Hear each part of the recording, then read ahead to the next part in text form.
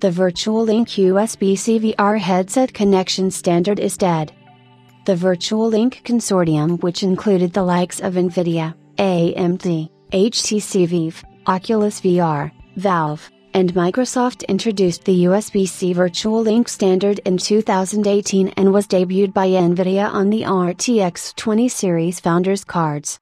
The goal was to simplify VR headset connections by combining power, video, and data over a single USB C cable. A few niche VR headsets such as the Star VR and Sol integrated the Virtual Link connector, but the standard struggled to receive major adoption.